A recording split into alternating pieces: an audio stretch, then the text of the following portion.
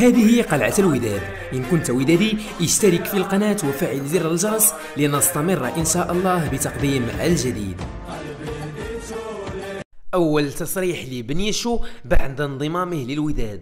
عبر صلاح الدين بن يشو المنتقل حديثا لصفوف فريق الوداد الرياضي من أولمبيك أسفي عن سعادته بالانضمام إلى القلعة الحمراء خلال فترة الانتقالات الصيفية الحالية. وقال بن يشو في تصريح خاص بأحد المواقع الإلكترونية أنه قرر الانتقال لفريق الوداد الرياضي بعد نيله ثقة المدرب الجديد وليد الرقراقي متمنيا أن يقدم رفقته موسم مميز خلال الموسم الكروي المقبل وأوضح المهاجم السابق للفريق المسفي الفيوي أنه يأمل في التتويج بكل الألقاب الممكنة بقميص الوداد موجها. شكره الجزيل للجماهير الودادية على الدعم والمساندة بعد التوقيع في كشوفات فريقها.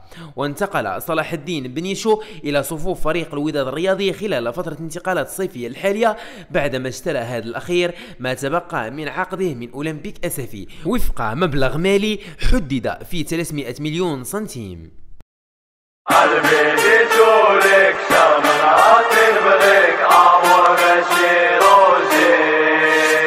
إلى هنا نصل لنهاية الفيديو.